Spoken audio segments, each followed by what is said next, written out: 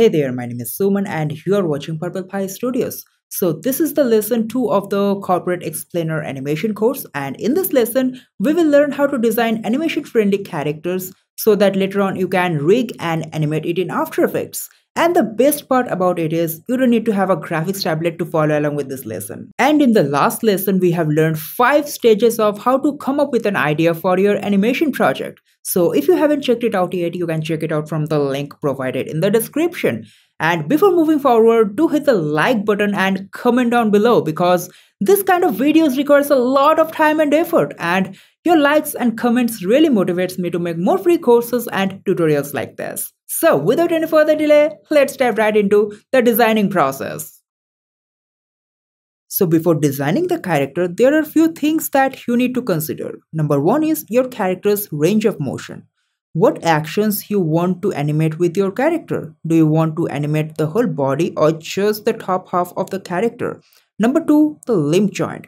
Do you want a rigid elbow or a rubber hose style elbow? Number 3 is design style. Do you want to have designs with the outline or without outline? If you want to have a design with the outline then you need to make some tweaks in the designing process uh, to make it more rigging friendly. So knowing these factors will help you in planning out your character's designing process and how much effort you need to put into your character design. In my case, I want a character uh, in angled side view and I should be able to animate the top half of the character with some hand and body movement.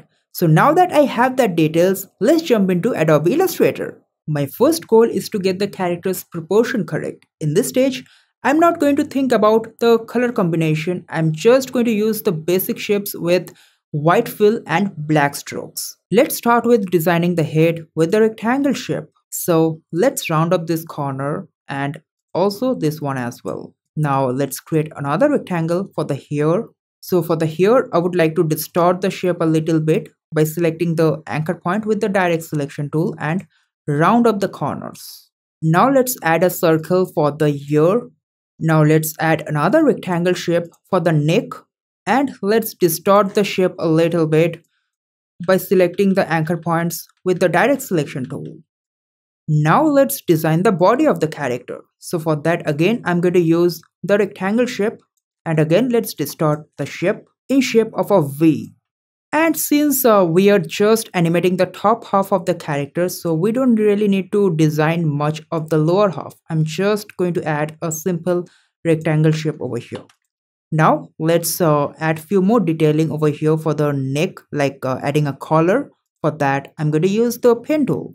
Okay, now let's design the hands. So for that, first let's pick the pen tool and let's draw a shape path and then cancel the fill and Let's increase, increase the stroke width with rounded corner and rounded cap. And now let's readjust the arm layer a bit so that it properly fits with the body. And one more thing, wherever we have the joint, uh, we have to make sure the overlaps are completely round. So here we have total three joints, one with the body and the shoulder, one with the arm and the forearm, and then one with the forearm and the hand. So we have to design the hand in such a way that the overlap should be completely rounded. Okay, now let's do one more thing. Let's move this uh, arm shape to another layer. So Control X to cut and let's paste it on a separate layer. Now we will duplicate this layer one more time, one for the arm and one for forearm. So for the forearm, I'm just going to delete the arm portion and for the arm I'm going to just delete the forearm portion. Now we have a separate layer for arm and forearm.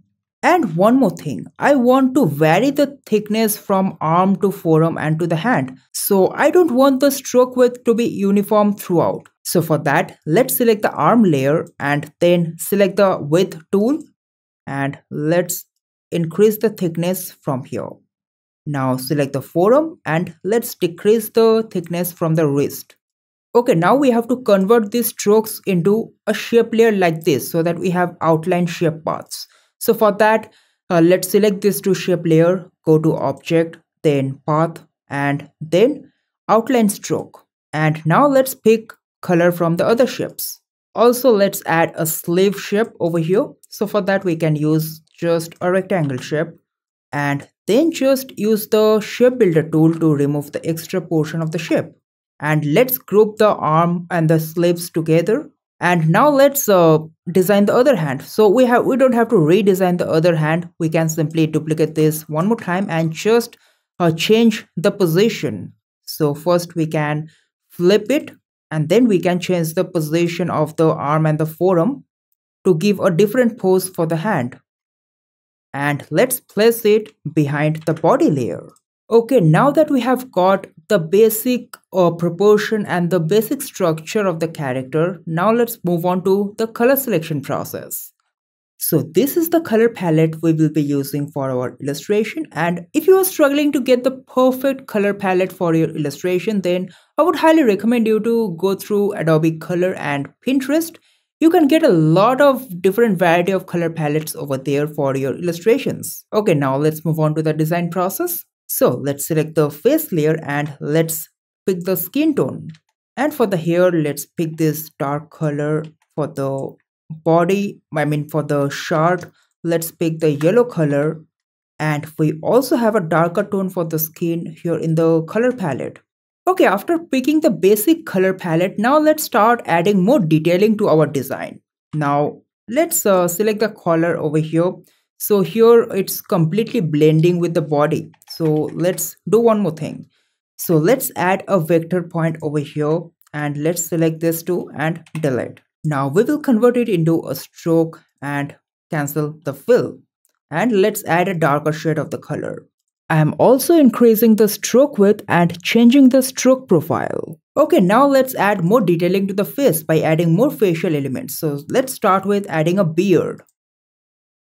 And now let's add a shadow layer for the face. So let's get inside the isolation mode of the face and let's pick the pen tool again and let's draw a shadow shape so here we are also going to uh, design the nose here for the shadow so now let's pick a darker shade of this color.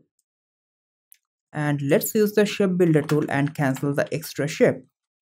Also we need the shadow to be on here in the beard layer. So for that what we can do is simply copy it one more time and duplicate go to the isolation mode and paste it over here. Pick the beard color and let's add a darker shade. That's it and we are just going to delete the extra portion of the shape with the shape builder tool and now we can add eyes mouth and also add some specs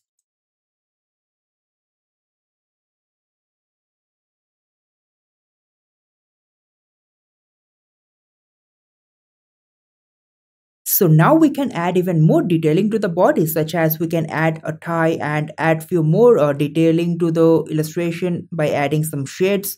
So right now I'm just uh, speeding up the whole uh, designing process because uh, watching me design each and every element would be just too boring to watch. Uh, I'm just uh, using the exact same technique that I've shown you while designing the character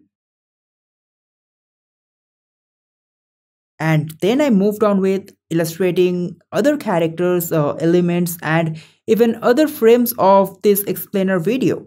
And this is how the final frames of this explainer video looks like.